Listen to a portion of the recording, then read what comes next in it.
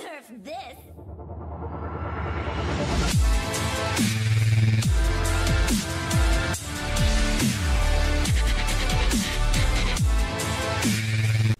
Hey guys, welcome back to Clash with Cory. If you liked the video, don't forget to subscribe to the channel, turn on that notification bell. Check out the details below my videos when you get a chance. I've got good resources for you in there. I have links to my Discord server. I have links to WHF's recruiting Discord server. Also have links to WHF's live streamers. So check that out when you get a chance.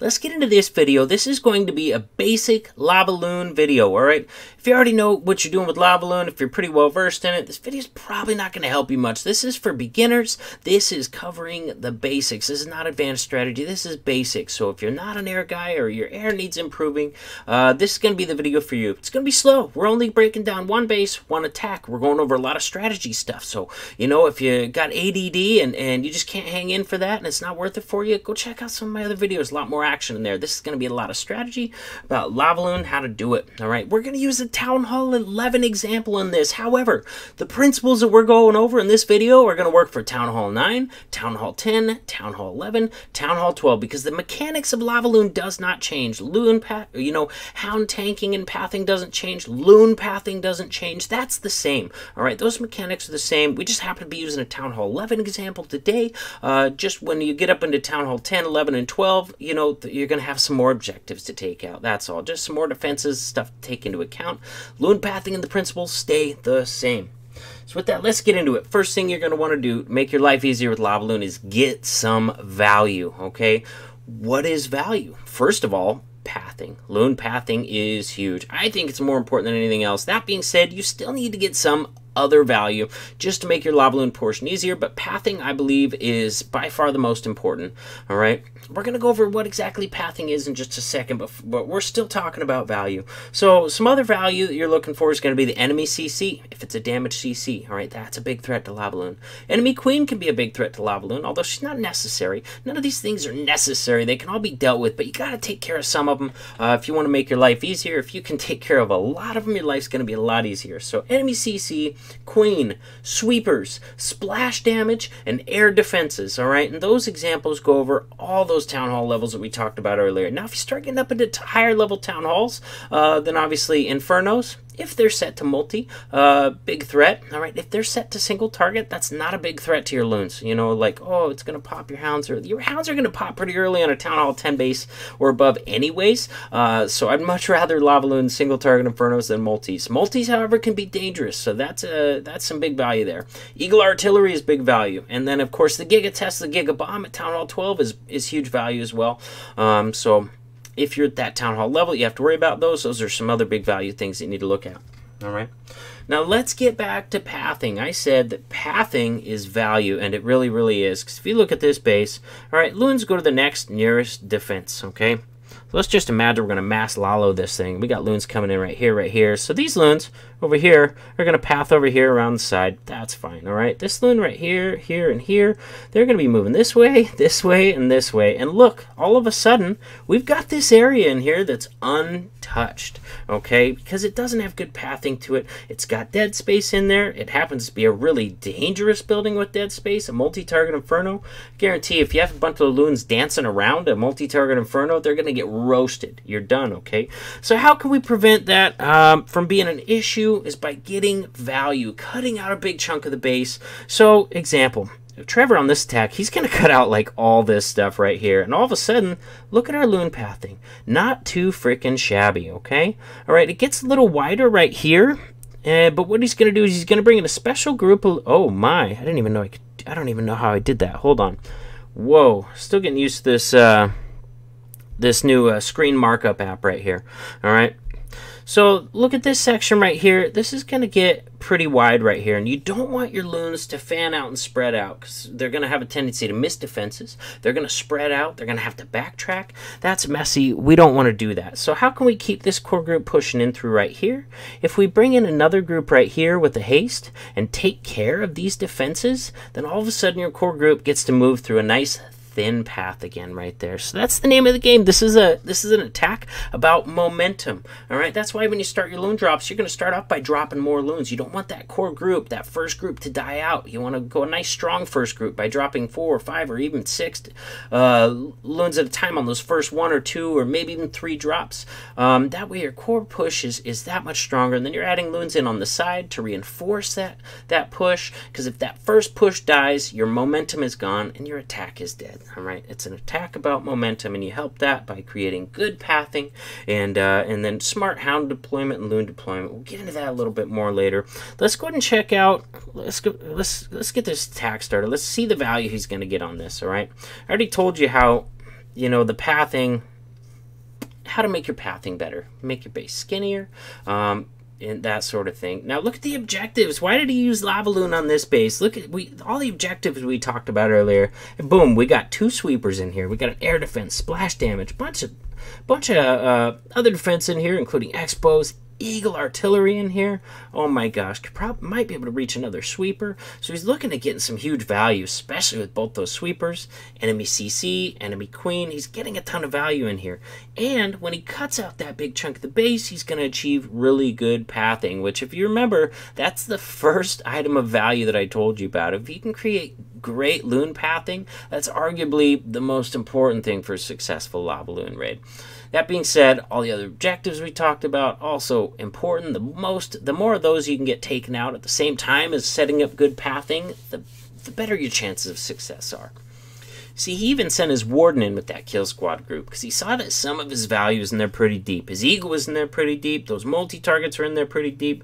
He wanted to get as much of that as possible, so he sent the warden in with the kill squads so that he'd have a better chance of getting the most of that as possible. All right, now right here we're going to pause. Humongous value. Got the eagle. Got so much stuff. Created great pathing. Uh, it's exactly the pathing that we were looking at either earlier. All right. Now we're going to stop. We're going to talk about hounds and loons. All right. What is the job of a hound? All right. Job number one tanking for your loons. Job number two is pulling air traps, especially red bombs and air skellies, but red bombs are the big ones. Now, where are red bombs usually? Usually people are going to put them by air defenses, or excuse me, not by air defenses. I was lying. That was a misspeak. Usually they're going to put them by wizard towers. So when you're pathing your hound into the base, first of all, you're going to look at the ranges of defenses, where they're going to be at. You'll see that this wizard tower range goes right up to the edge of that air defense. It doesn't have to cover the whole air defense to be tanked, because if you send in a hound from this direction, it's going to park on this side of that air defense that that wizard tower is touching. So if you park, if you send in a hound that way on that one, uh, that wizard tower is going to be stuck on the hound that is stuck on that air defense, leaving it not touching your loons, and that's huge. Let's check this wizard tower defense. Okay, now that one touches the other side of their defense. So if we drop a hound from right up here to path across that wizard tower and pull those red bombs and park on this side of the air defense that that wizard tower uh, range is stuck in, that's going to be an excellent hound drop location because it's pulling the bombs for on its way in and it's tanking for those defenses. Not just the wizard tower. I mean, it's also going to be tanking archer towers, any sort of air expos, any sort of air targeting defenses in range. But wizard towers are a big one. Like I said, splash damage is a big deal because uh, it can do damage to a big group of loons uh, at a time. Okay.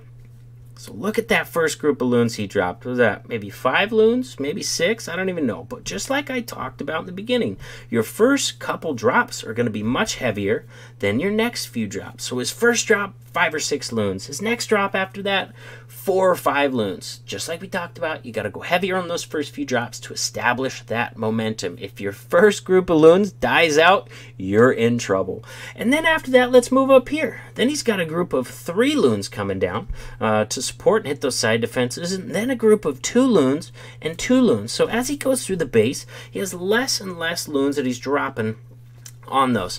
Now,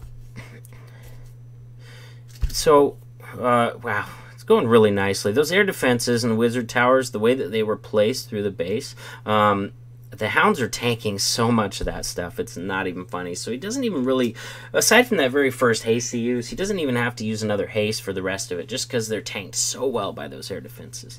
Now if you look at this group up here we got a much larger group of loons coming in with their very own haste just like we talked about earlier. He wants to take out here let's draw on it he's trying to take out these three defenses so that this group right here moves straight through nice path without fanning out. All right, now aside from taking out these defenses right here, this group of loons is also going to come in and join the core group for a nice big push through the rest of the base, all right? He went heavy on the beginning, so his core group doesn't die out, and through the rest of the attack, he sent in loons to take out outer defenses, especially wider sections of the base, and then they can join up with that big group as well, and that's where we get the momentum of our lava loon attack.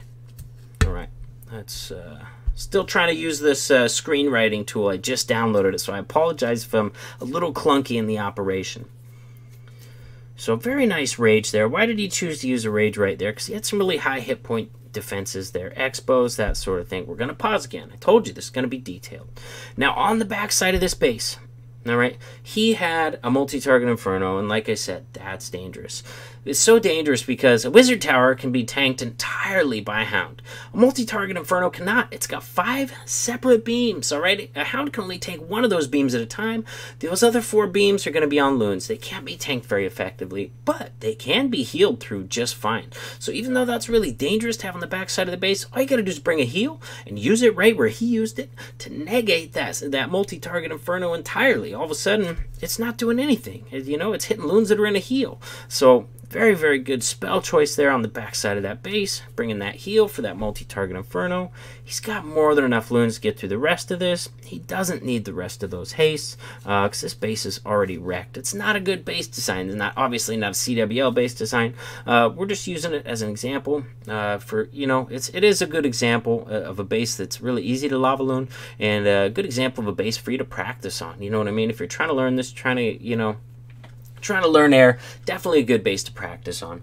All right, I did forget something, um, and it is important, so I'm going to go back and I'm going to cover it, and that's going to be the last thing that we're going to cover on this video, but we're going to play this again, and we're going to fast forward, because this is a really important thing to note on this. We're just going to times for it until we get it where we need to get it. Crazy value he got on that kill squad. Nice hit, Trevor. And as soon as this kill squad's done with value, we're going to pause it and talk about the last thing that I want to talk about because it is very important. All right. So we talked about making that nice path left through the base, all right? Ideally, it's going to look like a C shape or an L shape, but either way, skinnier the better. If you have a wider section, deal with it with some side loons. We talked about all that stuff, that's great, but we never talked about where to start your Lalo, all right? If we look at, you know, this base, the L shape, or this one's kind of a C shape, you're always going to start at the tip of the L or the tip of the C. You're never going to start in the middle of it, okay? What does that mean? Right here, we're going to start, he's going to start right here. Excellent spot to start. Now, he also could have started from this side right here. Pretty decent pathing. Um, some good tanking if, if he wanted to get that multi-target out of the way earlier. Uh, he could have gone from this side too. One place you would never want to start your lava loon is going to be right here. All right, here's the C shape. All right, we never want to start in the middle of the C. All right, why is that? Well, that's easy because if you start in your loons right here, First of all, you're going to get this section taken out, sure, but then they're going to be splitting up. Going to be splitting up. They're not going to stay in one group they're going to split up. All right. First of all, that divides your force, and you're not going to have uh, as much momentum if you're splitting it up, your group up into half. Second of all, it's going to be a lot more difficult to get spells down on them. Um, you know what I mean? You have two separate groups going through the base at once, and you're trying to get effective spell drops down on one, so it's a lot more difficult. Uh, but it's also not smart because you're dividing your troops, you're losing your momentum. It's not a good way to go. Okay, and and and third of all, you got no control over the fact of, you know, I guess if you were assured that your loons would split evenly and handle both sides and they were pretty thin, you thought you could do spells, that'd be fine.